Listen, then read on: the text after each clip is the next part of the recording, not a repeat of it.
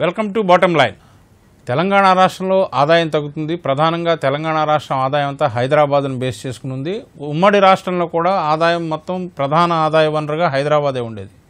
అయితే ప్రస్తుతం హైదరాబాద్ ఆదాయం గత వచ్చిన గత ప్ర గత ఉమ్మడి ప్రభుత్వాల కంటే వచ్చే రెండు రెండు సంవత్సరాల నుంచి తగ్గుముఖం పడుతుందని ప్రభుత్వం అంచనా వేస్తోంది.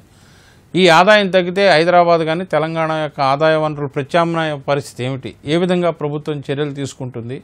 ప్రభుత్వం తీసుకునే చర్యలకు కేంద్రం నుంచి ఎటువంటి సహకారం ఉంటుంది మరోపక్క రైతు రుణమాఫీ వంటి అనేక అంశాలు ప్రభుత్వాన్ని చుట్టుముట్టేటువంటి పరిస్థితి. ఇదే ఈరోజు బాటం లైన్ ముందుగా చర్చను ప్రారంభించే ముందు ఒకసారి అతిథులు పరిచయం చేద్దాం. సుధాకర్ రెడ్డి గారు టీఆర్ఎస్ పార్టీ నుంచి ఆ పార్టీ ఎమ్మెల్సీ అదేవిధంగా ఉపాధ్యాయ సంఘ సీనియర్ నేత. అదేవిధంగా ప్రకాష్ రెడ్డి గారు తెలంగాణ రాష్ట్ర బీజేపీ అధికార ప్రతినిధి doctor Mallu Ravi Congress party senior నాయకులు తెలంగాణ కాంగ్రెస్లో అధికార ప్రతినిధిగా ఉన్నారు.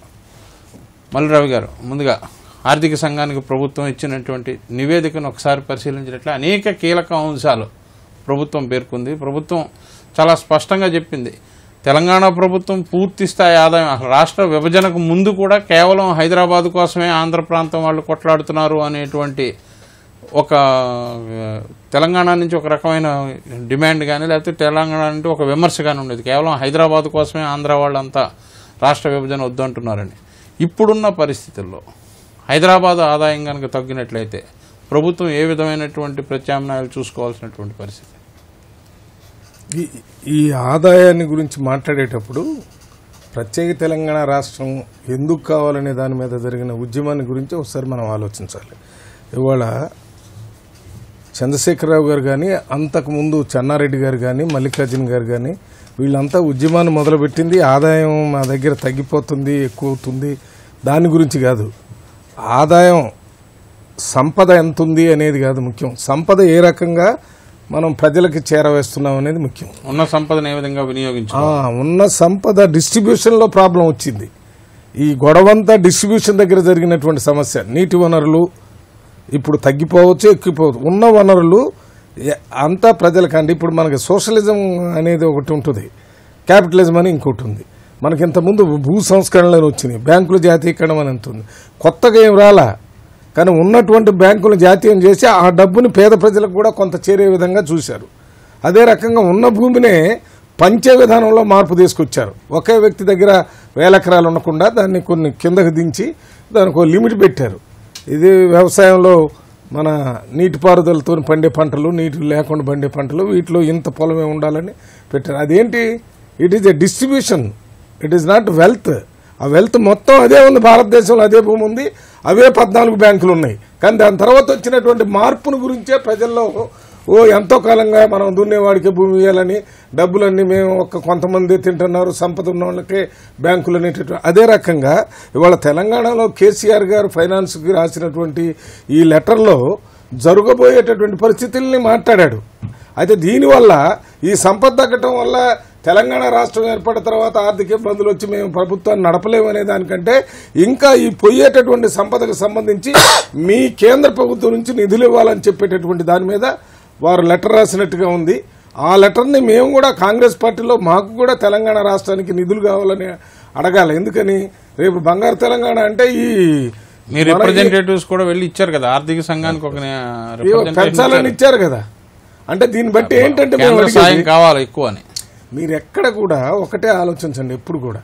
ఈ నిధులు అనే ఒక్కటే ఉండటం ఉంటే చాలు. అట్లా అనుకుంటే మన బ్రిటిష్ టైంలో రైల్వే లైన్లు బాగేశారు టెలిఫోన్లు స్తంభాలు బాతారు లేకపోతే స్కూళ్ళు పెట్టారు ఇవన్నీ పెట్టినా కానీ అక్కడ బాటం లైన్ ఏంటంటే మీలాగే మీరు బాటం లైన్ తీసుకున్నట్టు. ఆ బాటం లైన్ ఏంటంటే ఈ దేశంలో ప్రజలంతా భయం లేకుండా స్వతంత్రంగా ఎవరి పని వాళ్ళు చేసుకునేటటువంటి విధానం స్వేచ్ఛగా మాట్లాడే విధానం అటువంటి విధానాలు బ్రిటిష్ టైంలో లేవు. అది పోగొట్టడానికి స్వతంత్రం కోసం పోరాటం చేశారు. అట్లే ఇక్కడ ఇక్కడ వచ్చినటువంటి సంపద ఆ ఏ డిస్ట్రిబ్యూషన్ ఏ జరిగేటప్పుడు- విధంగా హైదరాబాద్లో ఉండేటువంటి ఆదాయం బయట ఇక్కడ రెండు అంశాలు. ఒకటి అంటే ఆయన పేర్కొన్నట్లుగా ఆంధ్ర ప్రాంతానికి సంబంధించిన కొన్ని కంపెనీలు సంస్థలు ఇక్కడి నుంచి తరలి వెళ్ళిపోతాయి అనేటువంటిది ఒకటి. తద్వారా వచ్చేటువంటి వ్యాట్ ఆదాయం ఏదైతే షాపింగ్ మాల్స్ అని ఇంకోటని ఇంకోటని డీజిల్ ఇట్లాంటివి అనేటువంటి. తద్వారా వచ్చేటువంటి ప్రభుత్వ ఆదాయం అంతా పోతుంది. అంటే ఇక్కడ రెండు అంశాలు ఉంటాయి. ఒకటి ఇక్కడ ఉండేటువంటి వ్యాపారస్తులు వెళ్ళిపోకుండా వ్యాపారం చేసుకునేవాడు ఆంధ్ర అయితేనే ఒకటి తెలంగాణ అయితేనే ఒకటి గుజరాత్ అయినా ఒకటి ఒకటే కదా. వ్యాపారం చేసేవాడికి ఏ రాష్ట్రం అయినా ఒకటే కదా.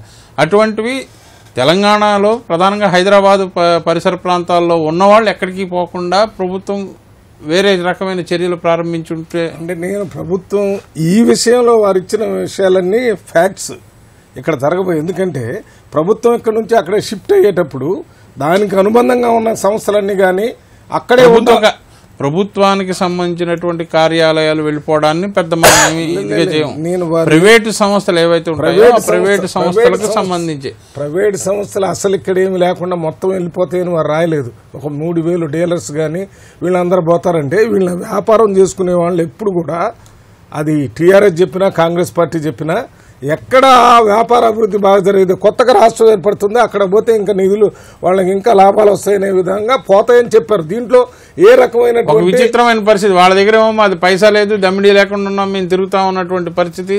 మాకేమీ లేదు మొత్తం అంతా తెలంగాణకే ఉందని వాళ్ళు చెప్తూ ఉన్నారు. అయితే తెలంగాణ ప్రభుత్వం ఆర్థిక సంఘానికి ఇచ్చిన నివేదిక మరి ఒక విషయం డబ్బులు అడిగే విషయానికి వచ్చినప్పుడు ఇలాంటివి చెప్తుంటారా? ఈ వాస్తవ పరిస్థితులు చెప్పారు ఇక్కడ. దీంట్లో వీటి మీద ఏం తప్పులేదు ఎవరు ఇది కాంగ్రెస్ ఇవన్నీ వాస్తవ పరిస్థితులు. ఇక్కడ ఇది జరిగింది. ఇది పోయిన తర్వాత ఇప్పుడు మీరు పాలు పెరుగు లేకపోతే కూరగాయలు ఇవన్నీ ఇక్కడికి వచ్చే మార్కెట్ లేకుండా పోతుందంటే వీటి కోసం కాదు తెలంగాణ అడిగింది. ఈ ఒక్క పెరుగు కూర వీటి కోసమే కాకుండా ఇవాళ మీకు కొన్ని పాలసీ మ్యాటర్స్ ఉన్నాయి. ఆ పాలసీ మ్యాటర్ని తీసుకొని వాళ్ళకి ఆర్థికంగా పుష్టికరంగా ఉండే విధంగా చేయాల్సిన కార్యక్రమం దాంట్లోనే బంగారు తెలంగాణ అనేది ఇంకొక విషయం చెప్తాను. ఇవాళ ఈ రకమైనటువంటి ఆదాయం పోయే దాని మీద డబ్బులు ఇవ్వాలని అడిగేది వాళ్ళు ఎంత అడుగుతున్నారో మనం కూడా అడగాల్సిన బాధ్యత ఉంది. ఏ ముఖ్యమంత్రి అడిగినా కేంద్రంలో అడగాల్సిందే కొత్తగా రాష్ట్రం కానీ కానీ ఇండస్ట్రీస్ పాలసీస్ కానీ లేకపోతే మెట్రో లాంటి ప్రాజెక్ట్ ఇవన్నీ అందులో భాగమే. ఇవి కాదు. ఇవి అందులో భాగం కాదు. ఇవి న్యాచురల్గా జరిగేటటువంటి విషయాల గురించి మాట్లాడారు. అవి ఏంటంటే జనాభా తగ్గితే మెట్రోకి వచ్చేటువంటి ఆదాయం కూడా దాంట్లో ప్రయాణికుల సంఖ్య అది కాదు నేను అనేది. మెట్రో లాంటి ఒక ప్రాజెక్టుని సక్రమంగా నడిచేదానికి ప్రభుత్వం అడ్డంకులు కలిగిస్తుందనే భావం కలగకుండా చేయాలి? కడిగిచ్చారా లేదా అనేది ఇవాళ క్లియర్ చేశారు మేము చేయరని. అది మంచి పని. అది చేయకపోతే ఏమవుతుందంటే ఇది ఇక్కడ నుంచి పోవాలా ఏమైనా పైకి పోయేది మళ్ళీ భూమిలోకి పోవాలా భూమిలో నుంచి పైకి పోవాలా ఏ నుంచి వెనక్కి పోవాలా రోజుకొకటి వచ్చేవరికి ఏదో అడ్డంకులు పెడుతున్నారనే భావం వచ్చింది. అవన్నీ లేదు అనేది చీఫ్ సెక్రటరీ చెప్పారు కేంద్రం. అర్బన్ డెవలప్మెంట్ సెక్రటరీకి వారికి అందరికి చెప్పారు. ఇటువంటివే కాకుండా ఇండస్ట్రీస్కి కూడా నిన్న మొన్న ఒక పాలసీ ఇస్తారని చెప్పారు. ఎక్కడ? మన ఇంటర్నేషనల్ ఎయిర్పోర్ట్ దిగి సీఎం ఆఫీసు ఆఫీస్ నుంచి బయటికి పోవటం మొత్తం. పదిహేను రోజులు అని చెప్పారు. మరి నేను అంత తొందరగా పదిహేను రోజుల్లో ఇస్తారని చెప్పారు. ఇవన్నీ ఇంప్లిమెంట్ చేస్తే ఏమవుతుందంటే మనకు సంపద టోటల్ పెరగవచ్చు కానీ డిస్ట్రిబ్యూషన్లో ఎక్కడెక్కడ పోవాలో అక్కడ పోయేటటువంటి అవకాశం రావాలి. అది. తెలంగాణ. ప్రభుత్వం సమర్పించిన నివేదికలోని ముఖ్యాంశాలను నేను ఒక విషయం స్పష్టంగా చెప్తాను సార్. ఆడలేక మధ్యలో డోర ఓడ ఓడ అన్న సామెత లాగా ఉంది. టీఆర్ఎస్ ప్రభుత్వం యొక్క పనితీరు కూడా మొత్తం ఆ తెలంగాణ రాష్ట్రంలో. వాస్తవమైన విషయం చెప్తున్నాను. మొత్తం భారతదేశంలో పరిశ్రమలు స్థాపించడానికి అత్యంత అనువైనటువంటి ప్రాంతం హైదరాబాద్ నగరం. ఇది అందరూ ఒప్పుకున్నటువంటి విషయమే. దాని మూలంగానే నెహ్రూ కాలం నుంచి హైదరాబాద్లో అతి ఎక్కువ పబ్లిక్ సెక్టర్ ఇండస్ట్రీస్ వచ్చాయి. బీహెచ్ఏల్ కానీ ఐడిపిఎల్ కానీ హెచ్ఏఎల్ కానీ హెచ్సిఎల్ కానీ విధంగా డిఫెన్స్ ఎలాబరేటర్స్ కానీ ఈ విధంగా హైదరాబాద్ నగరంలో ఏ ఒక్క ఇండస్ట్రీ పబ్లిక్ సెక్టర్ ఇండస్ట్రీ కొత్తగా వచ్చినాయి కదా చాలా పాతకాలం నుంచి ఉన్నాయి. దురదృష్టవశాత్తు ఏంటంటే కేసీఆర్ గారి ప్రభుత్వం వారి మంత్రులు వారి ఎమ్మెల్యేలు వారి నాయకులు చోటా బడా అందరూ కూడా. ఏదైతే బ్లాక్ మెయిలింగ్ స్ట్రాటజీ మొదలు పెట్టారో హైదరాబాద్ నగరంలో దాని పర్యవసానంగా ఫస్ట్ జరిగిందంటే చంద్రబాబు నాయుడు గారు ముఖ్యమంత్రి కాగానే రిజిస్టర్ ఆఫ్ కంపెనీస్ అయితే ఆర్ఓసి ఉందో ఆర్ఓసిని విజయవాడలో ప్రత్యేకమైనటువంటి ఒక అది పెట్టించుకున్నారు ఎందుకంటే ముందు పబ్లిక్ సెక్టర్ ఇండస్ట్రీస్ ఎనీ మరి వాళ్ళ రాష్ట్రంలో వాళ్ళు పెట్టుకోవడం పెద్ద అది ఆర్ఓసి గవర్నమెంట్ ఆఫ్ ఇండియా అది. అవును బేసిక్. ఏమవుతుందంటే రిజిస్టర్ ఆఫ్ కంపెనీస్లో అయితే limited companies any limited company or private limited company. Registration చేసుకోగానే ఎక్కడైతే కార్పొరేట్ ఆఫీస్ రిజిస్ట్రేషన్ చేసుకుంటావో అక్కడ వాళ్ళు ఇన్కమ్ ట్యాక్స్ అసెస్మెంట్ సబ్మిట్ చేసుకుంటారు. సో ఇన్కమ్ ట్యాక్స్ యొక్క అయితే రిటర్న్స్ ఉంటాయో దాని యొక్క పేమెంట్ కూడా ఆ స్టేట్లో జరుగుతుంది. దాని పర్యవసానంగా కేంద్రం నుంచి వచ్చేటువంటి షేరింగ్ ఏతుంటుందో ప్రత్యక్ష పన్నుల్లో వచ్చేటువంటి వాటా ఏతుంటుందో ఆ వాటా ఆంధ్రప్రదేశ్ తరలిపోతుంది. సహజమైనటువంటి విషయం ఇది. దానికి వాళ్ళు మనం. ప్రభుత్వం అంగీకరించింది తెలంగాణ ప్రభుత్వం చాలా క్లియర్గా చెప్పింది. అన్ని అంశాలని వాళ్ళే చెప్పు దీనికి మనం ప్రిపేర్ అయి ఉండాలి. రెండో అతి ముఖ్యమైన అంశం ఏంటంటే రాజశేఖర రెడ్డి గారు ముఖ్యమంత్రి నేను అసెంబ్లీలో విన్నాను నేను. ఏ రాష్ట్రంలో అయినా అభివృద్ధి వ్యవసాయంలో మిగులు surplus in agriculture will become a margin money for industry అని. చాలా స్పష్టంగా చెప్పారు. It is very true statement also వ్యవసాయంలో మిగులు అనేటువంటిది పరిశ్రమలకు మార్జిన్ మనీ అవుతుంది. బ్యాంకర్స్ పైసలు ఇస్తారు మార్జిన్ మనీ మిగతా డబ్బులు దాంతో పరిశ్రమలు వస్తాయి.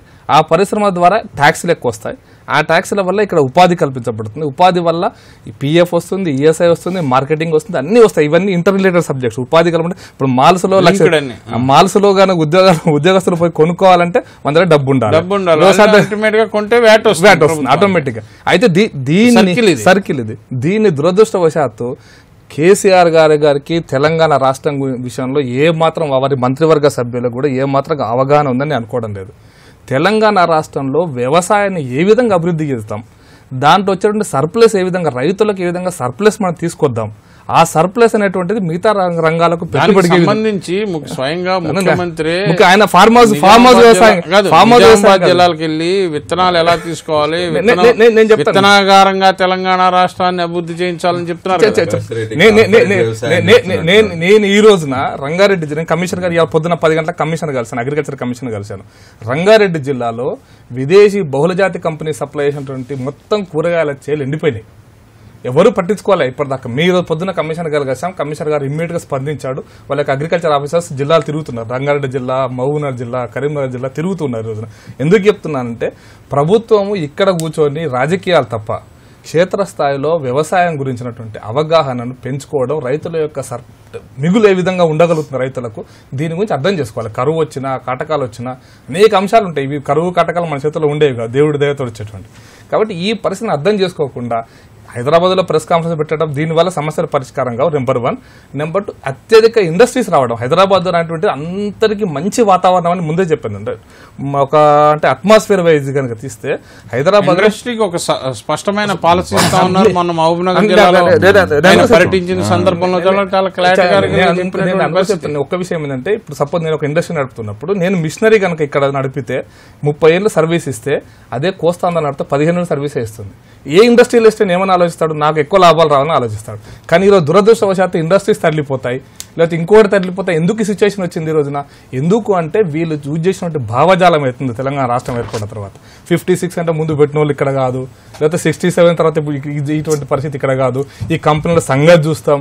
మీరంతా ఏంది? ఇటువంటి భావజాలం అవుతుందో ఏ పారిశ్రామికవేత్త కూడా నేను ఇక్కడికి వచ్చి పెట్టుబడి పెట్టి వీళ్ళతో బ్లాక్ మెయిల్ చేయించుకోవాలని ఎవరు కోరుకోరు. దురదృష్టవశాత్తు ఈ మెసేజ్ వెళ్ళిపోయింది. ఈవెన్ మెట్రో రైలు కానీ విషయంలో ముఖ్యమంత్రిని పలు సంస్థలకు సంబంధించిన ప్రైవేట్ సంస్థల ప్రతినిధులు కలుస్తున్నారు. విదేశీ ప్రతినిధులు. కలుస్తున్నారు అమెరికాకు సంబంధించినటువంటి ప్రతినిధులు కూడా కలిసి ఇక్కడ నేను నేను అందుకోసం ఈ గత నాలుగు నెలల్లో మెడికల్ హార్ట్ ఇన్స్టిట్యూట్ కూడా పెట్టడానికి. మెడికల్ హార్ట్ ఇన్స్టిట్యూట్ హైదరాబాద్లో చాట్ చాలా ఇన్స్టిట్యూట్స్ ఉన్నాయి. ఇవన్నీ కూడా పేపర్ల కోసం నేనేమంటే ముఖ్యమంత్రి గారు ప్రకటనలు చేయడం కాదు. ఆ వాళ్ళు వచ్చి. వాళ్ళ వాళ్ళ- ఇండస్ట్రీ ఒకటే ఒకటి జరిగింది. అక్కడ మౌన మహబూబ్నగర్లో ఏదో కంపెనీకి పోయి ఇనాగరేషన్ చేయడానికి రెండు కంపెనీలు ఇనాగరేషన్ చేయడానికి నెలలు ఇప్పటిదాకా నాకు తెలిసి నాకు తెలిసి సింగిల్ విండో సిస్టమ్ అంటే మీకు మళ్ళీ కూడా ఇంకొక విషయం చెప్తాను. ఇండస్ట్రీ సింగిల్ విండో సిస్టమ్ మా రవి గారు చెప్పినట్టుగా ఎయిర్పోర్ట్ దిగంగానే పదిహేను రోజులు ఇస్తాను. ఇది ఒకటే కాదు సమస్య. నేను ఒక ఇండస్ట్రీ నడుపుతున్నప్పుడు. నా ఇండస్ట్రీ నడుపుతున్నప్పుడు నా ఇండస్ట్రీ నడవడం కోసం కావాల్సిన అట్మాస్ఫియర్ అయితే ఉంటుంది దాంట్లో అనేకమైన డిపార్ట్మెంట్స్ ఇన్వాల్వ్ అయి ఉంటాయి. ఒక రాజకీయ నాయకుడు మహబూబ్ నగర్ జిల్లాలో ముఖ్యమంత్రి ఒక్క నిమిషం. ఈ జరిగినటువంటి సమావేశంలోనే ముఖ్యమంత్రి గారు చెప్పారు. స్థానిక నాయకులు ఎవరు జోక్యం చేసుకోవడానికి వీల్లేదు. పార్టీలకు సంబంధించిన అధికారులు కూడా చేయడానికి ప్రొయాక్టివ్గా వ్యవహరించాలి. ఇవన్నీ జరిగితేనే ప్రైవేటు సంస్థలు వస్తాయి ఇప్పుడు జరుగుతున్నది ఏంటంటే ఇప్పుడు ఇప్పుడు జరుగుతున్నది ఏంటంటే ఒక చిన్న ఎగ్జాంపుల్ చెప్తాడు ప్రకాష్ రెడ్డి మాట్లాడే మీరిద్దరు మాట్లాడి సరిపోద్దా? మాది కౌంటర్ వినాస్కర్ సుధాకర్ గారు ఒకటి గుర్తించాలా. ఇది దాన్ని మాట్లాడేటప్పుడు నేను ఎంత వాస్తవంగా మాట్లాడాను? మీ సమాధానం మా సమాధానం అన్ని సమాధానం చెప్తాను. చివరిగా నేను చెప్పే విషయం ఏంటంటే ఈ రోజున టిఆర్ఎస్ పార్టీ ఎంత చెప్తుందో వారు చెప్పినట్టుగా చెప్తున్నదని చేస్తున్నది చాలా తేడా ఉంది. ఉదాహరణకి వీళ్ళు హైదరాబాద్ చుట్టూ పదహారు రోడ్లు ఉన్నాయి ఆ రోడ్ల చుట్టూ వీళ్ళు ఒక ఏజెంట్లను పంపించారు. ఎక్కడ ప్రాజెక్ట్ వస్తుందో అక్కడ పోయి వీళ్ళు అప్లికేషన్స్ పెడుతున్నారు. కన్వర్షన్ అయిందా ల్యాండ్ లేదా? ఉదాహరణకి ప్రైవేట్ ఇంజనీరింగ్ కాలేజ్కు సీట్లు వస్తాయా రావా రాకపోతే పరిస్థితి ఏంది? వాళ్ళ సీట్లు కాలేజ్ నడుస్తాయా నడవా అనేటువంటి పరిస్థితి పక్కన పెడితే వాళ్ళు మెరుగుపరచుకోవడం కోసం పరిస్థితిని మెరుగుపరచుకోవడానికి అవకాశం ఇవ్వకుండా నూట డెబ్బై నాలుగు కాలేజ్ను బై వన్ జీవో నువ్వు క్లోజ్ చేసినావు కదా దీని పర్యవసనం ఏమవుతుంది? దీని పర్యవసనం ఏమవుతుంది ఒకసారి ఆలోచించండి. మీరు అవకాశం కల్పిస్తున్నారా? కల్పితే మీ ఫీజు అధికారంలో లేనంత కాలం ఇవన్నీ కూడా ఒక మౌలిక సదుపాయాలు లేనటువంటి కళాశాలలు కేవలం ఫీజు రియంబర్స్మెంట్ కోసం ఉన్నటువంటి కళాశాలలు ఇవి కేవలం విద్యార్థుల్ని దోపిడీ చేస్తున్నాయి విద్యార్థుల్లో క్వాలిటేటివ్ విద్య లేదు అని చెప్పినటువంటి పార్టీ అధికారంలోకి వచ్చిన తర్వాత నోరు మూసుకుని కూర్చోవడం ఎంతవరకు క్వాలి ఇటువంటి ప్రశ్నలు వేసేటప్పుడు ఒక విషయం అధికారంలో లేనప్పుడు రైతులందరికీ మేము ఒక నిమిషం, ఇది అయిపోయింది. సుధాకర్ రెడ్డి గారు- ఇప్పుడు జీవో ఇచ్చినప్పుడు మీరు ఏం చేశారు సుధాకర్ రెడ్డి గారు అయిపోయినాక ఒక్కొక్క- మాట్లాడదాం. సుధాకర్ రెడ్డి గారు అయిపోయినాక. ఒక్క ఒక్క. మీరు ఈ ప్రశ్నలు వేయటం వల్ల ఇక్కడ ఏం కనపడుతుందంటే అసలు సబ్జెక్ట్ నుంచి డీవియేట్ అయ్యడం నెంబర్ వన్ ఖచ్చితంగా దీనికి కూడా వస్తాం. అది కూడా అడగాలి. చెప్పాలి కదా ఇది ఇది ఇంతవరకు చెప్పండి. ఇంకా టైం ఉంది, చాలా టైం ఉంది. భాస్కర్ గారు? ఇది వస్తది. అడిగింది ఇది కాబట్టి పక్కగా అక్కడ కూడా వస్తాం. ఒక ఎగ్జాంపుల్ చెప్తాను సార్. మణిపాల్ యూనివర్సిటీ ఒకటి ఉంది కదా. వాళ్ళు చిన్న మణిపాల్లో ఒక యూనివర్సిటీ ఉంది. నేను ఫైన్.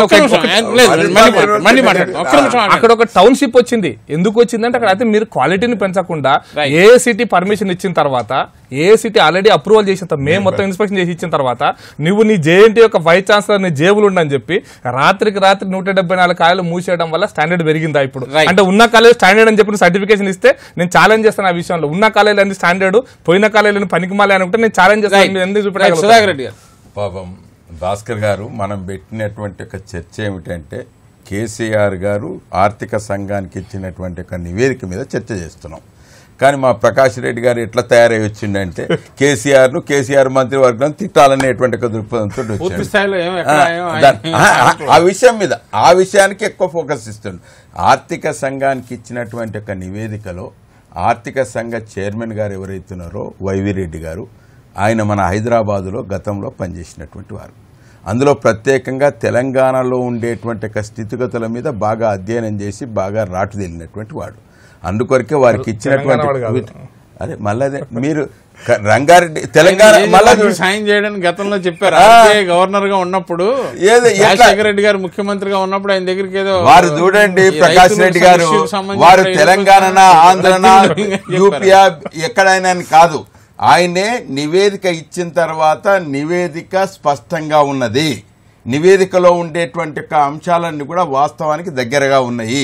అనే అనే- అనేటువంటిది తప్పకుండా వారు ప్రశంసిస్తూ నాలుగు మాటలు కూడా మాట్లాడాను ఇక రెండవది ఆర్థిక సంఘానికి ఇచ్చేటువంటి ఒక నివేదికలో మాకు ఉండేటువంటి ఒక భవిష్యత్తులో జరిగేటువంటి విషయాలన్నిటి కూడా క్రోడీకరించి ఇవ్వటం అన్నిటి ఆనవాయితీ ఎందుకొరకంటే వారిని మెప్పిస్తే ఇంకా నిధులు ఎక్కువ వస్తాయనేటువంటి ఒక ఉద్దేశంతో ఇగో రాను రాను పరిస్థితుల్లో ఇగో కరెంటు పరిస్థితి ఇట్టుంటుంది ఇగో నీటి పరిస్థితి ఇట్టుంటుంది మాది బీదరికంతో ఉన్నటువంటి ఒక ప్రాంతం కాబట్టి ఇక్కడ వృద్ధాప్య పెన్షన్లు ఇవ్వాల్సి వస్తుంది.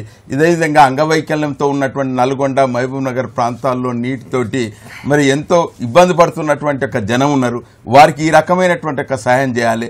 అదే రా కాకుండా ఇంకా మీరు అన్నట్టుగా రాను రాను ఈ పట్టణంలో ఉండేటువంటి ఒక స్థితిగతులను ఆధారంగా చేసుకుని రెండో రాష్ట్రం ఏర్పడ్డది రెండో రాష్ట్రం ఏర్పడ్డది కాబట్టి ఆ రాష్ట్రంలో ఉండేటువంటి యొక్క పరిస్థితులను బట్టి వారు కూడా వారి వారి పారిశ్రామికవేత్తలు ఎవరైతున్నారో ఆ ప్రాంతానికి వారు తరలిపోయేటువంటి అవకాశం ఉంటుంది.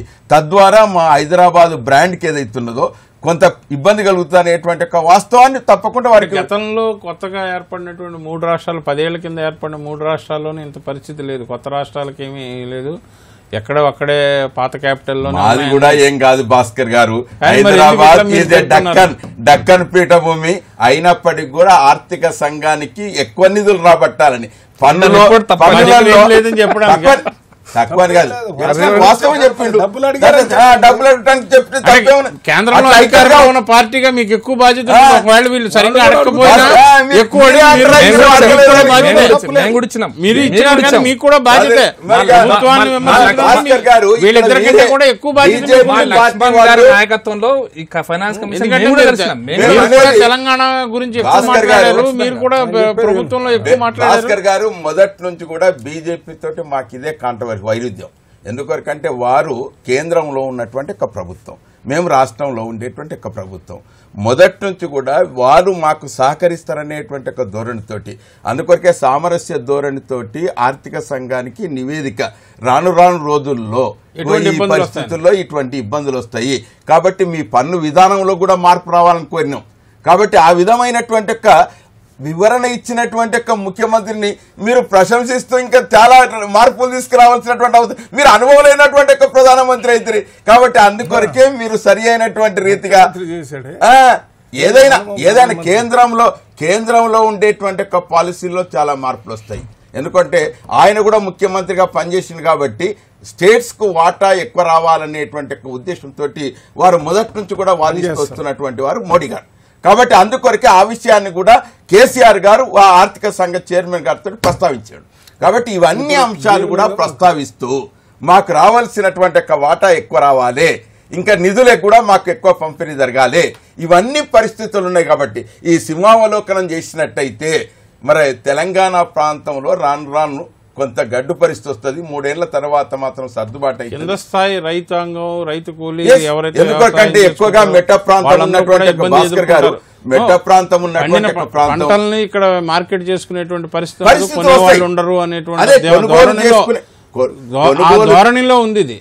మేము చెప్పేటిది ఏమిటంటే ఆర్థిక మా కోణంలో చెప్తూ వచ్చినాం. తెలంగాణ కోణంలోనే చెప్తూ వచ్చినాం. ఎందుకంటే ఆర్థిక నేనైతే పూర్తిగా విశ్వసించట్లేదు కానీ ఇంత దారుణంగా తయారవుతుంది అది వేరు. మీరు ఎందుకనో మరి ఆహా. ఎవరు విశ్వసించడం లేదు ఎందుకు అక్కడ అట్లా జరుగుతుంది ప్రతి ఒక్క అంశాన్ని చర్చిద్దాం అంటే ఎక్కువగా మాట్లాడి చెప్తున్నారేమో ఏమో మా దగ్గర.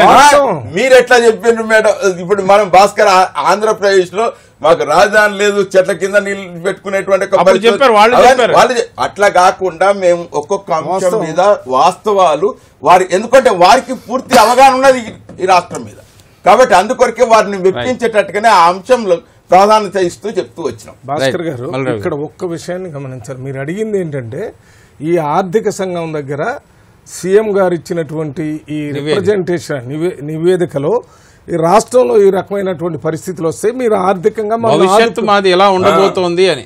భవిష్యత్తు కాదు ఆర్థికంగా ఈ పది సంవత్సరాల్లో ఏం జరుగుతుందనేది ఒక్కొక్క అంశాన్ని మాట్లాడి టూరిజం కానీ లేకపోతే జనరల్గా కానీ మొత్తం ఏడు మూడు వేల కోట్లు ఇస్తే బాగుంటుందని ఆర్థిక సంఘం దగ్గర ప్రతి. రాష్ట్రం ఇచ్చారు. ఆ ఇచ్చిన దాంట్లో ప్రతి అంశంకి మేము సపోర్ట్ చేస్తాం ఇవ్వాలని. దీంతో పాటు ఇంకోటి కూడా అడుగుతున్నారు. ఏంటంటే ఆడ ఆంధ్రప్రదేశ్ రాష్ట్రానికి కేంద్రం స్పెషల్ స్టేటస్ ఇస్తే తెలంగాణకు కూడా సైమల్టేనియస్గా ఇవ్వాలని మేము అడుగుతాం. ఎందుకో తెలుసా? స్పెషల్ స్టేటస్ ఇవ్వటం వల్ల అట్రాక్షన్ ఈ పక్కనే ఉన్న రాష్ట్రానికి అందరూ వెళ్ళిపోయేటటువంటి అవకాశం ఉంటుంది. అదే విషయం తమిళనాడు కూడా ఆల్రెడీ తమిళనాడు ముఖ్యమంత్రి జయలలిత నరేంద్ర మోడీ గారిని. లెటర్ కూడా రాశారు. ఇది మీరు ఆంధ్రప్రదేశ్కి తెలంగాణకి ఇస్తే మా దగ్గర ఉన్న వాళ్ళు అటు వెళ్ళిపోతే మా పరిస్థితి ఏమిటని. అది వేరు ఇది వేరు. ఇక్కడ మీరు వాస్తవాన్ని గుర్తించండి. ఇక్కడ ఉన్నటువంటి రాష్ట్రం రెండుగా విడిపోయింది. ఈ రెండు రాష్ట్రాల్లో తేడా వస్తే ప్రజల్లో ఒకరి మీద ఒకరు పారిశ్రామికవేత్తలు ఎక్కడైనా సరే ఎక్కడ నాలుగు రూపాయలు తక్కువ అటే వెళ్ళిపోతారు అందుకనే మాకు కూడా అదే స్టేటస్ ఇవ్వమంటున్నాం ఎందుకంటే మా దగ్గర జరిగిన విషయం ఇది. తమిళనాడులో జరిగినప్పుడు అప్పుడు జరిగింది. తమిళనాడు నుంచే ఆంధ్రప్రదేశ్ వచ్చింది. దాని తర్వాత ఆంధ్ర వచ్చింది. ఆంధ్ర తర్వాత ఆంధ్రప్రదేశ్ అయింది. ఇప్పుడు ఆంధ్రప్రదేశ్ తెలంగాణ అయింది. అందువల్ల ఇక్కడ అడగాల్సిన అవకాశం ఉంది- అవసరం ఉంది. అడిగినప్పుడు మేము సపోర్ట్ చేస్తాం. అయితే ఈ ఒక్క విషయంలో మాత్రమే మేము సపోర్ట్ చేస్తున్నాం. కానీ మీరు చేసేటటువంటి? ఈ విషయం ఈ విషయము ఆ మన మన స్టేటస్ ఆ ఇవ్వాలనేది ఏదైనా బంగారు తెలంగాణని ఏర్పాటు చేయడానికి కావాల్సిన దానికి చేస్తున్నాం. ఎందుకు చెప్తున్నాను తెలుసా? తెలంగాణ రాష్ట్రం తీసుకోవడం తప్పు అనేటటువంటి ఆలోచన దీని ద్వారా రాకూడదు. అది రాకూడదని నేను సపోర్ట్ చేస్తున్నాను. ఎందుకనంటే ఆర్థికంగా తక్కువైనా ఆ వచ్చిన డబ్బును నలుగురికి పంచేటటువంటి వ్యవస్థ తెలంగాణ రాష్ట్రంలో వస్తుంది కాబట్టి మేము ఓకే చేస్తున్నాం దీన్ని. కానీ ముఖ్యమంత్రి గారు తీసుకున్నటువంటి నిర్ణయాలు ఈ వంద రోజుల్లో సుధాకర్ రెడ్డి గారు ఒక ప్రశ్న దీనికి సపోర్ట్ చేసి. దానికి రిలే నువ్వు అడిగిన దానికి నేను ఇంతకు ముందే మొత్తుకొని చెప్పాను మళ్ళీ చెప్తున్నాను.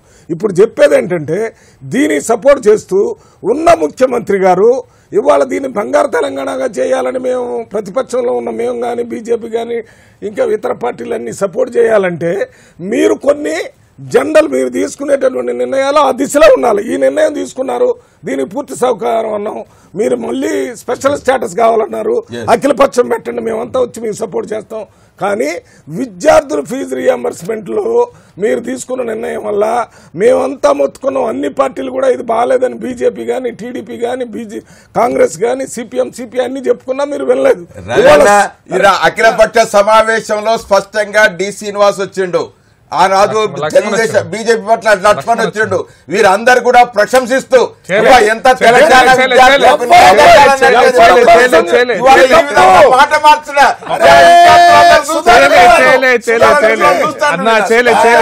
నేనున్నా కదా. భాస్కర్ గారు అఖిలపక్ష సమావేశంలో నేను. కూర్చున్నా. మీరు తీసుకున్న నిర్ణయం నేను కాంగ్రెస్ పార్టీ మన స్పోక్స్ పర్సన్గా ఉండి ఎన్నో సార్లు ఇది కాదు అని చెప్పాను. మా పిసిసి అధ్యక్షుడు చెప్పాడు. పార్టీ వైఖరిని మేము వెళ్ళబరిచాం బీజేపీ చెప్పింది. వేరే పార్టీలు కూడా చెప్పారు. వినలేదు మీరు. దానివల్ల కోర్టులో కూడా ఎవరు సమర్థించలేదు 1956 ఆయన చెప్తుంది నేను గురించి. మీటింగ్లో ఉన్నాను, చేయలేదు. సమర్థించానంట. వారు నేను కూడా నేను పార్టీ సమర్థించలేదు. రోజు తెలుసుకుంటున్నాను. 56 నేను సమర్థించలేదు వివరాలు సార్. ఇప్పుడు తెలుసుకొని సమర్థించలేం. 1956 ఇప్పుడు సమర్థించలేదు గురించి మాట్లాడలేదు. అంటారు. ఎప్పుడు ఇప్పుడు చేయలే, ఇప్పుడు చేయలే. మాట్లాడలేదు. దీని వల్ల ఎంత నష్టం జరిగింది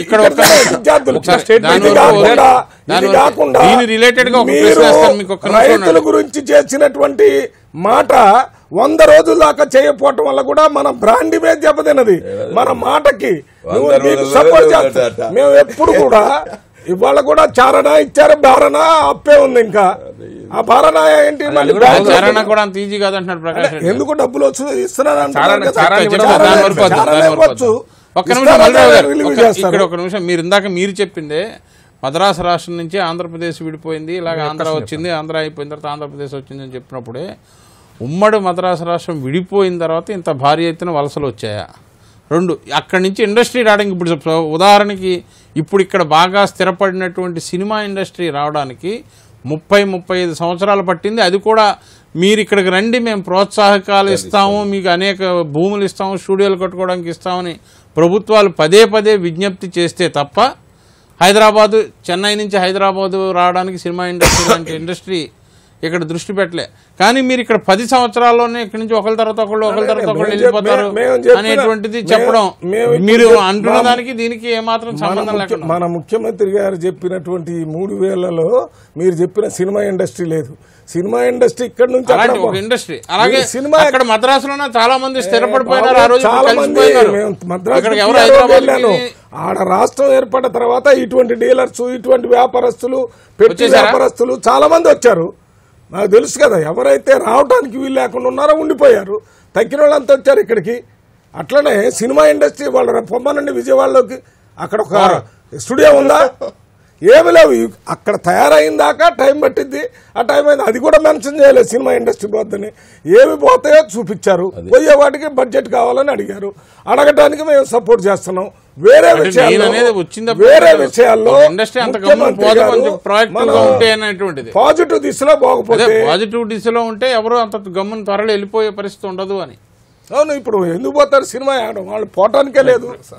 రవి గారు చెప్పిన దాంట్లో ఒక చిన్న అంశాన్ని నేను యాడ్ యాడ్ చేస్తున్నాను సార్. ఇప్పుడు స్పెషల్ స్టేటస్తో పాటు ట్యాక్స్ హాలిడే కనుక సి ఆంధ్రప్రదేశ్ రాష్ట్రాన్ని కనుక డిక్లేర్ చేస్తే వాస్తవానికి ఇది నేను భయపడుతున్నటువంటి విషయము. మొత్తం తెలంగాణలో హైదరాబాద్ డిజర్ట్ అవుతుందండి. ఇది వాస్తవమైన విషయం. ఎందుకు చెప్తున్నానంటే ఎన్డీఏ గవర్నమెంట్ ఉన్నప్పుడు చిన్న రాష్ట్రాలు ఉత్తరాఖండ్ హిమాచల్ ప్రదేశ్ జమ్మూ కాశ్మీర్ మూడు రాష్ట్రాలు హిల్ స్టేట్స్ అవి మూడు కూడా. అక్కడ ప్లేస్ కొనడానికి వీల్లేదు ఓన్లీ లీజ్డ్ ఫ్యాక్టరీసే పెట్టుకోవాలా. ఒక ఉత్తరాఖండ్లో రూర్కీ లేదా మైదాన ప్రాంతం తప్ప మిగతా హరిద్వార్ కానీ ముస్ ముసోరి కానీ ఇవన్నీ కూడా హిల్ ఏరియాస్ అదేవిధంగా సోలన్ బద్ది ఇవన్నీ కూడా హిమాచల్ ప్రదేశ్లో. మొత్తం భారతదేశం నుంచి ఎక్సైజబుల్ గూడ్స్ తయారు చేయగలిగేటువంటి నాన్ పొల్యూషన్ ఇండస్ట్రీస్ వేలాదిగా తరలిపోయినాయి అక్కడ. నేను ఈరోజు ఛాలెంజ్ చేస్తున్న ఒకవేళ by any chance by any chance కేంద్ర ప్రభుత్వం నిర్ణయం తీసుకోదన్న విశ్వాసంతో నేను మాట్లాడుతున్నాను. ఒకవేళ ట్యాక్స్ హాలిడే కనుక నిర్ణయం తీసుకొని ట్యాక్స్ హాలిడే వేరు స్పెషల్ స్టేటస్ వేరు. Special status special status tax holiday వర్తించండి ఎందుకంటే స్పెషల్ స్టేటస్ అనేటువంటి ట్యాక్స్ హాలిడే కూడా పరిశీలిస్తామని. పరిశీలిస్తామన్నారు. కానీ ఒకవేళ. పరిశీలిస్తామన్నారు. కానీ ఒకవేళ అది కనుక పెట్టినట్టయితే ఖచ్చితంగా హైదరాబాద్ లోంచి వేలాది ఇండస్ట్రీ మీకు ఎందుకు చెప్తున్నా? భారతీయ జనతా పార్టీ ఆ రోజు అడిగిన దాంట్లో అరుణ్ జైట్లీ గారు ప్రతిపక్ష ఆయన కూడా గారు. అడిగారు అడిగినప్పుడు ఆయన మన్మోహన్ సింగ్ గారు ప్రధానమంత్రిగా రియాక్ట్ నేను ఒక అయినటువంటి విషయం చెప్తాను. మహారాష్ట్ర నుంచి రెండు వేల ఫార్మా ఇండస్ట్రీస్కు ఉత్తరాంచల్కు బద్దీకి షిఫ్ట్ అయినాయి అప్పుడు two thousand two two thousand four ఆ ప్రాంతంలో. ఇక్కడ నుంచి కూడా ఇక్కడ నుంచి కూడా. ఇక్కడ నుంచి మూడు వందల కంపెనీలు వారు కూడా ఫార్మా బిజినెస్ మూడు వందల కంపెనీలు హైదరాబాద్ నుంచి షిఫ్ట్ అయిపోయినాయి. ఈ రోజు ఉన్న హైదరాబాద్ కంపెనీలు దివాలా తీసినాయి. దివాలా తీసినాయి. రీజన్ ఏంటంటే ఒక్కసారి హైయెస్ట్ ట్యాక్స్ ఎక్సైజబుల్ ట్యాక్స్ అయితే ప్రోడక్ట్ ఉంటుందో ఆ ప్రోడక్ట్ ఏదైనా కూడా వెళ్ళిపోతారు. ఇది వాస్తవమైన పద్ధతి. అక్కడ సర్ప్లస్ పవర్ ఉంది అక్కడ మైదాన ప్రాంతం రాయలసీమ ఉంది అక్కడ పోర్ట్స్ ఉన్నాయి అక్కడ అన్ని ఫెసిలిటీస్ ఉన్నాయి. హైదరాబాద్కి అక్కడికి తేడా ఉండదు. కాబట్టి ఈ ప్రమాదం ఉంది. దీని విషయంలో మేము కూడా ఖచ్చితంగా మేము తెలంగాణ శ్రేయోభిలాషిగా తెలంగాణ ప్రాంత వాసుల యొక్క అభివృద్ధిని ఆకాంక్షిస్తూ మేము రాకూడదని మేము కోరుకుంటున్నాం. ఆ విషయంలో వస్తే మేము కూడా మా హాలిడే ఆంధ్రప్రదేశ్ రాష్ట్రానికి మాత్రమే ఇస్తే తెలంగాణలో పార్టీ రహితంగా ఉద్యమానికి మేము రెడీగా ఉన్నాం. కాంగ్రెస్ పార్టీ కాదు అన్ని పార్టీలు కలిసి ఉద్యమం చేస్తారు. కేంద్రం మీద. ఎందుకంటే నువ్వు ట్యాక్స్ హాలిడే మీరు కూడా కలిసి వస్తారా వాళ్ళతో? నేను ఇప్పుడు చెప్తూనే ఉన్నా కలిసి. రావాలా? నేను ఎందుకంటే మీ ప్రభుత్వం- నిర్ణయం తీసుకునే పరిస్థితి కాదు భాస్కర్ గారు అందుకోసం చెప్తున్నా బై గాడ్స్ గ్రేస్ అది చేయకూడదని మేము కోరుకుంటున్నాం. ఖచ్చితంగా మా మా ఒత్తిడిని మేము తీసుకొస్తాం రాకుండా అనేటువంటి విషయం. మళ్ళీ కూడా చెప్తున్నాం చాలా స్పష్టంగా. ట్యాక్స్ హాలిడే ఇవ్వటానికి కావలసిన నరేంద్ర మోడీ గారు సిద్ధంగా లేరు నాకు సమాచారం కూడా. తెలంగాణ ముఖ్యమంత్రిగా నాలుగు దఫాలుగా పనిచేశారు కాబట్టి రాష్ట్రాల్లో పరిస్థితులు జయలలిత ఇండస్ట్రీ ఏ విధంగా ఉంటుంది అనేటువంటి పూర్తి. జయలలిత గారు చెప్పినటువంటి అంశం కూడా ట్యాక్స్ హాలిడే కనుక ప్రకటిస్తే తమిళనాడు కంపెనీస్ కూడా వచ్చే అదే ఆవిడ పేర్కొన్నదే. కర్ణాటక ఈ- ప్రయత్నం ఎక్కడ కూడా ట్యాక్స్ హాలిడే డిక్లేర్ చేస్తే ఆర్థికంగా ఇంకా దెబ్బతింటాం స్పెషల్ స్టేటస్ కూడా కావాలని మేము పోరాటం చేయాలి వాళ్ళతో పాటు మీకు కూడా కావాలని ఒకటే సంతోషకరమైన. విషయం భాస్కర్ గారు. ఎందుకంటే ముఖ్యమంత్రి గారు ఇచ్చిన నివేదికను ఇరు పార్టీలు కూడా సమర్థించినందుకు నేను సంతోషిస్తున్నా. ఇక రెండో విషయం వాళ్ళు దాంట్లో పొందుపరిచినటువంటి అంశాలు. స్పెషల్ స్టేటస్ టు తెలంగాణ ఎందుకంటే పది జిల్లాల్లో తొమ్మిది జిల్లాలు కూడా కరువు కాటకాలతో ఉంటాయి కాబట్టి అందుకొరకు దీనికి స్పెషల్ స్టేటస్ ఇవ్వాలి కానీ ఆంధ్రప్రదేశ్కి కాదు. కాబట్టి ఆ విషయాన్ని అన్నింటి కూడా స్పష్టంగా పొందుపరిచి తప్పకుండా నిధులు ఎక్కువ కావాలి. ఆంధ్రప్రదేశ్కి ఇవ్వద్దని మీరు ఎట్లా అంటారు? అని మేము అంటలేం కదా. దానికన్నా.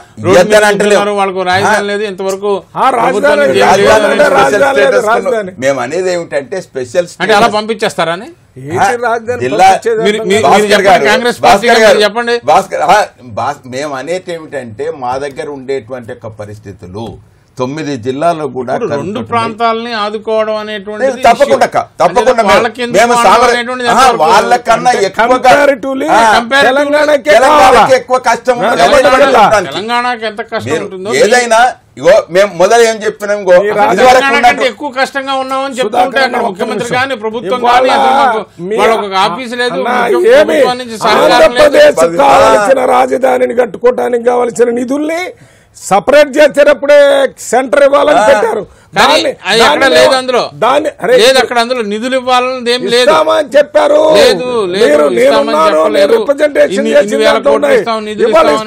మాట లేదు టోటల్ క్వాంటిటీ ఒకటే ఒకటి చెప్పారు ఏంటంటే తొలి సంవత్సరం ఏదైతే ఆర్థికంగా ఉండేటువంటి పన్నుల రూపంలో వచ్చేటువంటి. పరిస్థితి డెఫిసిట్ బడ్జెట్ డెఫిసిట్ ఉంటుందో తొలి సంవత్సరాన్ని మీట్ Compensate, అయ్యేందుకు మాత్రం. కాంపన్సేట్ చేస్తామని మాత్రమే గారు రాజధానిని కట్టుకోవటానికి కొత్త రాష్ట్రం సహకారం అందిస్తామనే ఆర్థికంగా? రాష్ట్ర విభజన జరిగినప్పుడు ఎక్కడా జరగలేదు. అన్ని రాష్ట్రాలకు జరిగినాయి. ఉత్తరప్రదేశ్ విడిపోయినప్పుడు ఉత్తరాఖండ్ జరగలేదు నయా రాయ్పూర్కి ఏమి ఇవ్వలేదు. రాయ్పూర్ మీరు కొంచెం తీసుకోండి. లేదు, ఏం పది- ఇవ్వలేదు. సంవత్సరాల పేరు మీద నయా రాయపూర్ నిర్మాణం- నిర్మాణానికి పదివేల. కోట్లు ఇచ్చారు. చివరి రెండు వేల అవి కాదండి. అరే అదే ఆర్థిక సపోర్ట్ అంటే కొత్త రాజధాని. తెలంగాణకు కూడా లే, ఇప్పుడు రాజధాని కట్టుకోవడానికి మేము అడగటం లేదు. వాళ్ళకి అది ఇచ్చారు. మీరు స్పెషల్ స్టాటస్ ఒకటి ఒకటి ప్రకాష్ సార్. ఒకటి ఏంటంటే ఆర్థిక సంఘ చైర్మన్ గారికి ఇచ్చినటువంటి నివేదిక ఇది వేరు, అది వేరు. రాను పరిస్థితులు ఇట్లుంటవి. కాబట్టి మాకు నిధులు ఎక్కువ కేటాయించాలనేటువంటి స్పష్టంగా వాటికి వివరించడం. కానీ మా తెలంగాణలో మాత్రం మాకు అస్తిత్వం ముఖ్యం. కాబట్టి మా అస్తిత్వం కొరకు పోరాటం చేసినాం తెలంగాణ రాష్ట్రాన్ని సాధించుకున్నాం. కాబట్టి తప్పకుండా మాకున్న వనరులను ఇంకా అభివృద్ధి పరుచుకొని తప్పకుండా కేంద్రం రుణమాఫీ వరకు వద్దాం రుణమాఫీకి వచ్చిన పరిస్థితి. బా- ఆ, బా- yes. మళ్ళీ బ్యాంకర్లతో ఒక్క నిమిషం ఆయనతో మాట్లాడినాక రుణమాఫీ విషయంలో స్పష్టంగా మేము రెండవ తారీఖు నాడు పదవి బాధ్యతలు స్వీకరించగానే మూడవ తారీఖు నుంచి బ్యాంకర్లతో మాటలు కూడా వచ్చినాయి. కాదంటే అందుకొరకే. రైతులతోటి ఎప్పటికప్పుడు చర్చలు చేస్తుంటే బ్యాంకర్లతో చర్చలు చేస్తుంటే ఎన్నో రకాలైనటువంటి అనుమానాలు వస్తూ వచ్చినాయి. దాన్నన్నిటి కూడా నివృత్తి చేసుకొని నిన్న ముఖ్యమంత్రి గారు స్పష్టంగా ఇగో మనకు ఉన్నటువంటి యొక్క వ్యవసాయ రుణాలు ఏవైతున్నాయో పంట రుణాలు సుమారు పదిహేడు లక్షల కోట్ల రూపాయలు పదిహేడు వేల కోట్ల. రూపాయలు ఇస్తున్నాయి. దాంట్లో ఫస్ట్ విడతగా నాలుగు వేల రెండు వందల యాభై కోట్లు ఇస్తామనేటువంటి ఒక మాట చెప్పినాం. దాన్ని అందుకొరకే బ్యాంకర్లతోటి ఇదివరకే లిస్టు తయారు చేస్తున్నాం. కొద్దిసేపటి. ఇప్పుడు ఉప సంఘం ఏదైతున్నదో దాని సమావేశం జరిగింది. ఆ సమావేశంలో అన్ని కూడా వివరాలన్నీ కూడా ఒక్కొక్క గ్రామ వారీగా వివరాలు సేకరిస్తున్నాం. ఏ విధమైనటువంటి ఒక రైతులు ఉన్నారు ఎట్లా వారికి రుణాలు ఇచ్చినాం? కాబట్టి ఆ రుణాలను చెల్లించేటువంటి ఒక విధానం ఏమిటి బ్యాంకర్లతోటి స్పష్టంగా పూర్తి స్థాయి మాఫీ అయ్యేటప్పటికి రైతుకి ఎంతకాలం పట్టే అవకాశం ఉంది పార్టీగా తప్పకుండా మేము సంవత్సరాల్లో? తప్పకుండా వాళ్ళ రైతు ఇప్పుడు. మేము అనేది భాస్కర్ గారు. మేము అనేది ఇంత అంతే అని కాదు మాకు వనరులు స్పష్టంగా ఉంటే మాది రైతు ప్రభుత్వం రైతులకు అత్యంత ప్రాధాన్యత ఇచ్చేటువంటి కాబట్టి రుణాలు ఏవైతున్నాయో భారతదేశంలో ఏ ప్రభుత్వానికి స్పష్టమైన వనరులు ఉండవు లేవు. ఎక్కడో అక్కడ అటు నుంచి ఇటు, ఇటు నుంచి సార్, ఇటు నేను- సుధాకర్ రెండు అంశాలు చెప్తాను మొదటి అంశం ఏంటంటే మీరు తెలంగాణ రాష్ట్రంలో రిపోర్ట్ ఎందుకు ఇచ్చారు ఏమి ఇచ్చారు దాన్ని కేంద్ర ప్రభుత్వం నిధులు రాబట్టుకోవడం కోసం మనం అనేక రిపోర్ట్లు ఇస్తుంటాం. సరే దాంట్లో భాగంగా ఇచ్చారు అది ఓకే. కానీ మీరు ఇప్పటికైనా సరే మీ భావజాలాన్ని మార్చుకొని ఏ ప్రాంతం వాళ్ళైనా సరే అది తమిళనాడు భావజాలం మార్చుకుంటే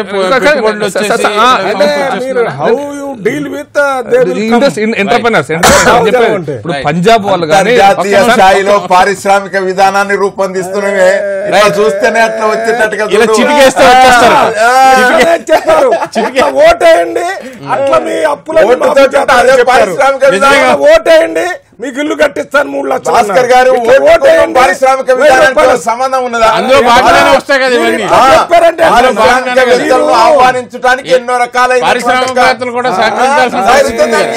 Right, ఒక్క నిమిషం ఇది తప్పని కంప్లీట్ చేశారు. చేయండి. మీ Serious మాటలకి discussion. చేతలకి Practical తేడా discussion ఉండాలి ఏంటంటే, కదా. ప్రాక్టికల్ ఈ రోజు పరిశ్రమల స్థాపన కోసం పదిహేను రోజుల పర్మిషన్లు ఇస్తాం ఇది మొదటి నుంచి ఉంది రా ఎప్పటి నుంచో ఇరవై సంవత్సరాల నుంచి. Single window system. రిజిస్ట్రేషన్ అనేది సింగిల్ విండో సిస్టమ్ అండి దేశంలో చాలా రాష్ట్రాల్లో ఉంది మన దేశంలో కూడా ఉంది. మనం ఒక పదిహేను ఫైల్స్ అయితే పదిహేను డిపార్ట్మెంట్స్ క్లియరెన్స్ ఇవ్వాలనుకుంటే పదిహేను అప్లికేషన్స్ ఇవ్వాలా పదిహేను డిపార్ట్మెంట్స్కి వెళ్ళిపోతుంది. నెల లోపల ఎవ్రీ మంత్ ఇండస్ట్రీ డిపార్ట్మెంట్ దగ్గర మీటింగ్ జరుగుతుంది అంటే క్లియర్ చేస్తున్నారు. ఏదో కొత్త విధానం ప్రవేశపెట్టిన అనుకోవడం తప్పు అది నేను చెప్పాను. అందుకోసం కాంగ్రెస్ ప్రభుత్వ కాలం నుంచి చంద్రబాబు నాయుడు ప్రభుత్వ కాలం కూడా సింగిల్ విండో సిస్టమ్ ఉంది. మేము డీల్ చేస్తున్నాం కూడా. ప్రత్యక్షమైన window అనుభవం ఉంది. ఈ సిస్టమ్ ఉంది పర్ఫెక్ట్ సిస్టమ్ ఉంది. అంటే వేరే ఏం లేదు. ఇప్పుడున్నటువంటి పరిస్థితి ఇప్పుడు ఇప్పుడున్నటువంటి పరిస్థితి ఏంటంటే భావజాల మార్పు వచ్చి బ్లాక్ మెయిలింగ్ అనేటువంటిది ఆ మెసేజ్ పోతుంది. మేము తెలంగాణకు ఆ మెసేజ్ పోవద్దని మేము కోరుకుంటున్నాం. మెసేజ్ పోవద్దు అని కోరుకుంటున్నాం. కాబట్టి దాని విషయంలో మీరు ఆలోచించండి మీరు మార్చుకోండి. ఖచ్చితంగా ఎంటర్ప్రైనర్స్ మన దగ్గరకు వస్తారు రావాలని కూడా కోరుకుంటున్నాం నెంబర్ టూ రుణమాఫీ విషయంలో ఈ రోజు వీళ్ళు తీసుకున్న నిర్ణయం రైతు వ్యతిరేక నిర్ణయం. ఎలాగా? రైతు ఎందుకు ఎలాగంటే చెప్తాను. మీకు ఆంధ్రప్రదేశ్లో పంట రుణాలు వీళ్ళు మేనిఫెస్టోలో మీకు కావాలంటే నేను ఈ రోజు కూడా కాపీ నేను చదివినాను. రైతులకు లక్ష రూపాయల రుణాలన్నీ మా అన్ని రకాల రుణాలు మాఫీ అన్నారు. ఫస్ట్ లైన్ అదే వీళ్ళ రైతు ఆ,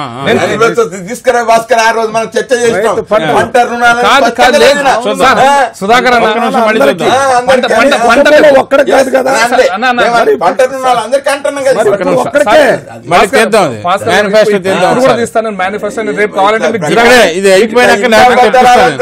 అన్నకు మేలు చూపిస్తా అన్నకు మేలు చూపిస్తా మీరు అక్కడ పుస్తకం నా దగ్గర ఉంది. నా- ఓకే, నెంబర్- టూ ఈ రోజు జరిగింది ఏంటంటే పదిహేడు ఇప్పుడు నాకు ఒక లక్ష రూపాయలు రుణం ఉంటే ఈ రోజు ఇరవై ఐదు వేల రూపాయలు ప్రభుత్వం కడుతుంది.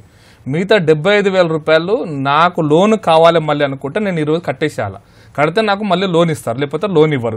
ఎందుకు ఒప్పుకుంటాడు? ఒప్పుకోవట్లేదు. దిస్ ఇస్ ఫస్ట్ ప్రాబ్లం రెండో ప్రాబ్లం ఏంటంటే మనకైతే ఇన్పుట్ సబ్సిడీ రావాలనో ఇన్సూరెన్స్ క్లెయిమ్స్ అనేవో నాన్ బ్యాంక్ లోన్ అటువంటి ఇన్సూరెన్స్ యొక్క date August thirty first close చేసింది as government of India insurance లేఖ రాస్తామని లే- లేక లేదు గీక లేదు అయిపోయింది. RBI government of India insurance all India లెవెల్లో ఖరీఫ్ ఉండేటువంటి టైం అయిపోయింది. ఖరీఫ్కు లోన్స్ ఇచ్చేటువంటి time as per RBI guidelines September ముప్పై. సెప్టెంబర్ ముప్పై లాస్ట్ డేట్ ఆ తర్వాత రబీ లోన్స్ ఉంటాయి తప్ప ఖరీఫ్ లోన్స్ ఉండవు. ఖరీఫ్ లోన్ అనేది ఖచ్చితంగా ముప్పై తారీఖు ఏమీ లేదు. ఏమీ లేదు ఒకవేళ నాకు రుణం తీసుకొని నాకు బుక్ అడ్జస్ట్మెంట్ అనుకుంటే కూడా అనుకున్నా కాసేపటి నేను డెబ్బై. రుణాలన్నీ బుక్ అడ్జస్ట్మెంట్ అదే నేను నిన్న నిన్న ఎందుకోసం నేను చెప్తాను బుక్ అడ్జస్ట్మెంట్ అనుకుంటే కూడా నేను పొద్దున కట్టినట్టుగా సాయంత్రం నాకు లోన్ ఇచ్చినట్టుగా రికార్డ్ తయారు చేసుకుంటే కూడా నాకు ఇంట్రెస్ట్ ఫ్రీ అనుకుంటే కూడా నాకు వచ్చే లోన్ ఎంత అంటే ట్వంటీ ఫైవ్ పర్సెంట్ ఇప్పుడు వచ్చేది నాకు. మొత్తం లోన్ నాకు ఇవ్వడు. నాకు లక్ష రూపాయలు ఎంత లోన్ కట్టావో అంత ఎంత ప్రభుత్వం అడ్జస్ట్మెంట్ ఎందుకంటే నా లక్ష రూపాయలు నాకు ఎలిజిబిలిటీ ఉంది లోను ఇరవై ఐదు వేలు ప్రభుత్వం కట్టింది డెబ్బై ఐదు వేలు ఇరవై ఇరవై ఐదు. ఇరవై మాత్రం నాకు లోన్ ఇస్తారు. నేను ఈ రోజు నా వ్యవసాయం ఈ రోజు క్లిష్ట పరిస్థితుల్లో ఉన్నప్పుడు మీరు రుణాలు మాఫీ చేస్తామని చెప్పి నాలుగు నెలల నుంచి ప్రజలను రైతాంగాన్ని ముఖ్యంగా ఏడిపించి ఏడిపించి ఈ రోజున డెబ్బై ఐదు ప్రభుత్వ ఇబ్బందులన్నీ మీరే అంగీకరిస్తున్నారు మరి ఇది కూడా ఇబ్బంది ఇదే ఇదే పనేదో ఇదే పనేదో ఈ ఈ కాన్సెప్ట్ ఏదో జూన్ ఫస్ట్ వీక్లో సెకండ్ వీక్లో జూలై ఫస్ట్ వీక్లో చేసింటే ఖచ్చితంగా వాళ్ళకి లోన్ తీసుకునే వాళ్ళు వాళ్ళ కాన్సెప్ట్ మారిపోయింది వాడు కట్టుకునేవాడు తాకట్టు పెట్టుకునేవాడు మీ ప్రభుత్వానికి ఏం చెప్పాడు అట్లా బుద్ధి చెప్పేవాడు. కానీ దురదృష్టవశాత్తు ఏంటంటే ఈ రోజున రైతాంగం ఇన్సూరెన్స్ క్లెయిమ్ చేసుకోవడం విషయంలో కూడా ఫెయిల్ కాబోతున్నది. Input subsidies Rao as per the government of India number three government of India ఇచ్చినటువంటి సబ్సిడీ ఇంట్రెస్ట్ అవుతుందో ఆ సబ్సిడీ ఇంట్రెస్ట్ మనం కోల్పోతున్నాం ఇప్పుడు బికాస్ ఆఫ్ రీషెడ్యూల్ కానీ బికాస్ ఆఫ్ అదర్ ఇష్యూస్ కానీ ఇవన్నీ కూడా రైతాంగానికి నష్టమా లాభాలా మీరు చెప్పండి. బేసిక్ ప్రాబ్లం ఇది. కాబట్టి మీరు చేస్తున్నటువంటి పని వల్ల రైతాంగానికి అయితే వీళ్ళు ఏం చెప్పారంటే మా గ్యారంటీ ఇస్తాం ఆర్బీఐకి మా ఇన్సూరెన్స్ ఇస్తాం డిస్కషన్ చేశారు. అది సీమాంధ్ర రకరకాల ఆంధ్ర- same ఆంధ్రప్రదేశ్ ప్రభుత్వం. ఆంధ్రప్రదేశ్ తెలంగాణ ప్రభుత్వం. అయితే దీనికి సరైనటువంటి మార్గంలో మీరు అవసరమైతే కట్టడము ఇంకో మార్గంలో వెతుకోవడం ఆలోచించకుండా ఇలా రైతాంగాన్ని ఇంట్రెస్ట్ నష్టపోగొడుతున్నారు ఇన్సు ఇన్పుట్ సబ్సిడీ నష్టపోగొడుతున్నారు. నేను ప్రాక్టికల్గా నేను పోయి ఇన్సూరెన్స్ కంపెనీకి ఆగస్ట్ థర్టీ ఫస్ట్ నాకు అప్పు లేదు బాబు వ్యవసాయం మీద. నేను ఇంటర్ థర్టీ థర్టీ ఫస్ట్ ఆగస్ట్లో పోగొట్టే ఇన్సూరెన్స్ కంపెనీ నా దగ్గర ఇన్సూరెన్స్ తీసుకోవాలి. ఎందుకు? అంటే కరువు వచ్చింది ఏమో పరిస్థితి వర్షాలు పడకపోతే ఇన్సూరెన్స్ పే చేయాల్సి వస్తుంది. నేను నాన్ లోన్ ఇన్సూరెన్స్ కడతాను కూడా ఇన్సూరెన్స్ తీసుకునే పరిస్థితి ఈరోజు ఆంధ్రప్రదేశ్ నెలకొన్నది. ఇది రైతులుగా నేను ఒక నేను వ్యవసాయంలో ఇన్వాల్వ్ అయినా కాబట్టి నేను డైరెక్ట్ చెప్పగలుగుతాను ఈరోజు ప్రభుత్వ రైతాంగం చాలా తీవ్రమైన ఇబ్బందులలో ఉంది. రుణమాఫీ సంబంధించినంత వరకు రుణమాఫీ ఎలా- ఈ రోజు తాజాగా మళ్ళీ నిన్న ముఖ్యమంత్రి గారి ప్రకటన తర్వాత ఈ రోజు మళ్ళీ బ్యాంకర్లతో సబ్ కమిటీ మీటింగ్ కూడా జరిగింది. అంత అయింది. ఇది తెలంగాణలో ఒక సామెత ఉంది. చారణ కూడికి బారణ మసాలానే. ఇప్పుడు ఉన్న మొత్తం అప్పులో చారణ వంతు ఇచ్చారు బారణ వంతు అక్కడే ఉంది.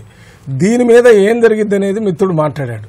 ఇప్పుడు వాళ్ళకి అప్పడకుండా చేయడానికి మాత్రమే ప్రభుత్వం ఏదైనా ప్రయత్నం చేస్తుంది కానీ మళ్ళీ అప్పు రావాలంటే మీరు ఎన్ని డైరెక్షన్లు ఇచ్చినా ఈ అప్పు ఇవ్వలోనికి మళ్ళీ ఇవ్వాలంటే వాళ్ళు నానా కండిషన్లు పెడతారు.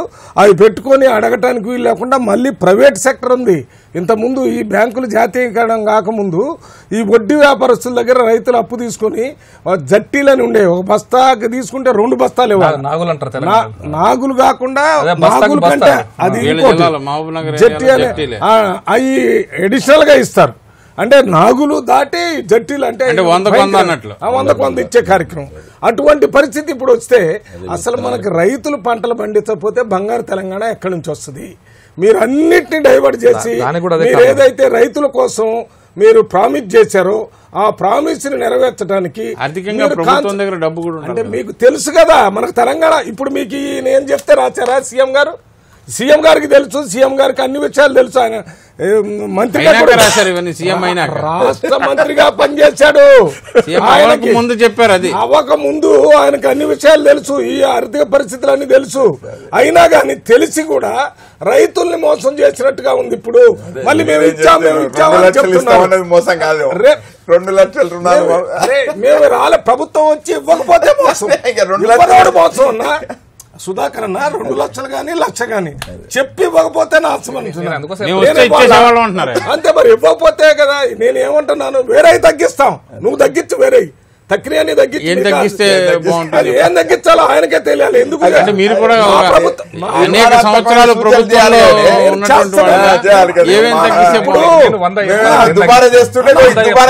దుబారా చెప్తానంటున్నాడు ప్రకాష్ రెడ్డి గారు. మేము- మేము నిర్మాణాత్మకమైనటువంటి సజెషన్స్ కాబట్టే మీరు రాసిన లెటర్స్ మీద మేము తప్పు చెప్పలేదు. అదే రకంగా స్పెషల్ కేటగిరీ అంటే తెలంగాణ కావాలన్నాం. లేకపోతే మీకు ఇంకా. ఇవన్నీ నిర్మాణాత్మకం. ఇవేంటి? మీ ఇష్టం వచ్చినట్టు చేసి ఇంటింటికి పోయి మీరు అప్పులు కట్టొద్దు మేము ఇస్తాం మేము అప్పులు. వచ్చేసారు. అరే రామ మీరు ఎలక్షన్ టీఆర్ఎస్? కానీ కేసీఆర్ వాళ్ళు కానీ ఇంటింటికి వెళ్ళరని మొన్న ఎలక్షన్ మీరే? ఇంటింటికి ఎందుకు వెళ్ళేది మేము అక్కడ మీరు అక్కడ కింద స్థాయిలో మీ పార్టీ కేసీఆర్ పోతే పోయినట్టు కాదు టీఆర్ఎస్ టీఆర్ఎస్కు స్ట్రక్చర్ ఉంటది కదా కింద వాళ్ళు చెప్పిన సంగతులు తెలుసు నా కాన్స్టెన్సీలో జరిగినాయి వేరే. రుణమాఫీ అనేది మీరు ప్రజల్లో ఆశను కల్పించారు రైతులు కట్టగలిగిన వాళ్ళు కూడా కొన్ని చోట్ల కట్టలేదు. ఎందుకని మీరు కడతారని?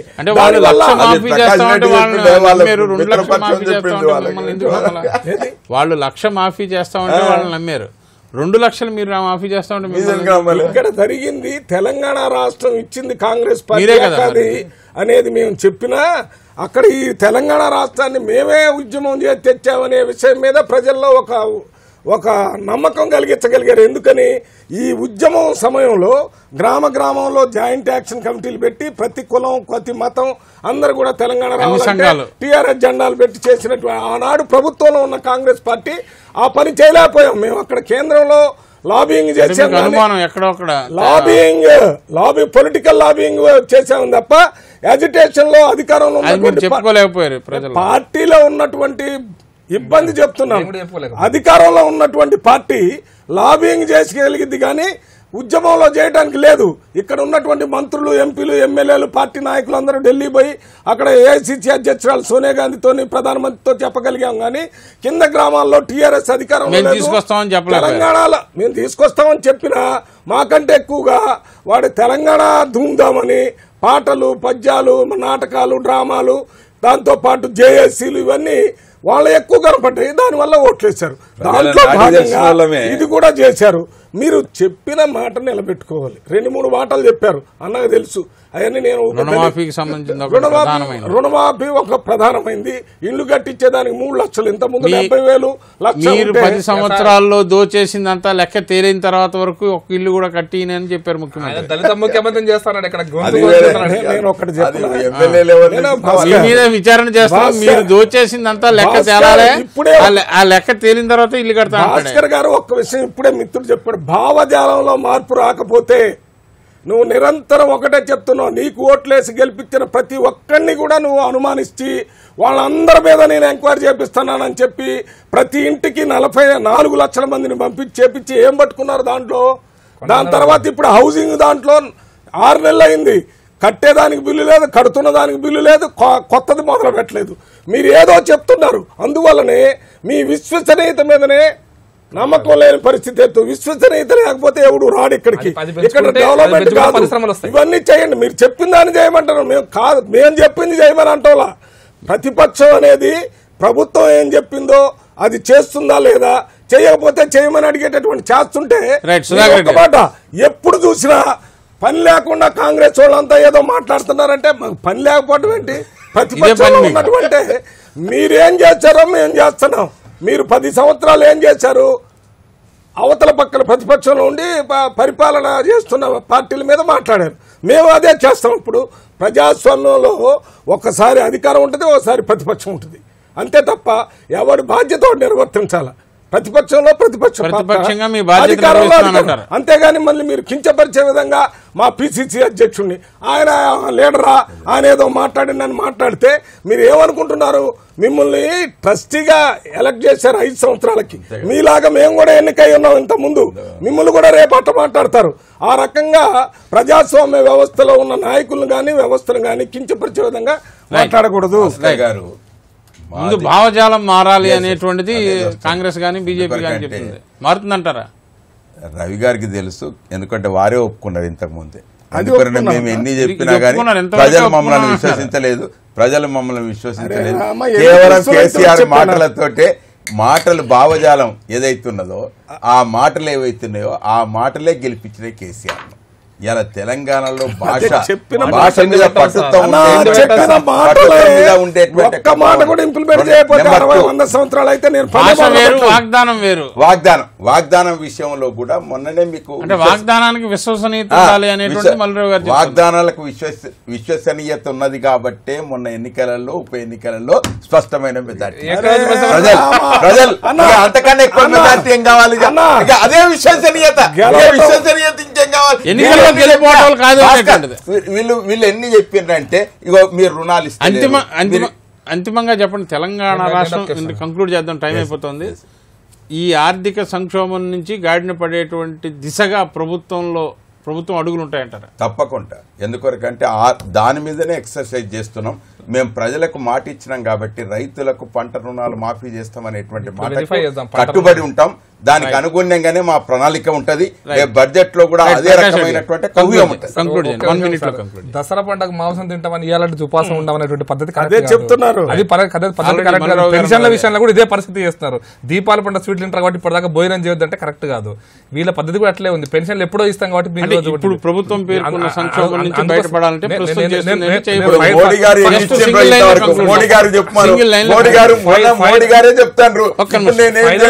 నిమిషం. రవి గారు చెప్పిన దగ్గర రకానే విశ్వాసనీయత పెంచుకున్నట్టయితే హైదరాబాద్ అనేటువంటిది మంచి ప్లేసు.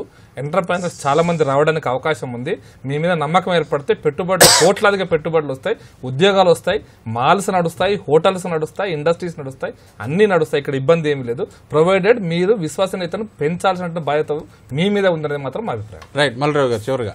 చివరిగా చెప్పేది ఏం లేదండి. ఇవాళ మీరు చెప్పినట్టు ఆర్థిక సంఘానికి ఆర్థిక? సంక్షోభ ఆర్థిక పరిస్థితులు మెరుగుపడటానికి అడిగిన దానికి మేము పూర్తి సపోర్ట్ చేస్తున్నాం. కానీ ప్రభుత్వం- ప్రభుత్వ చెప్పిన దానికి చేసిన దానికి ఆకాశానికి భూమికి ఉన్నంత తేడా ఉంది.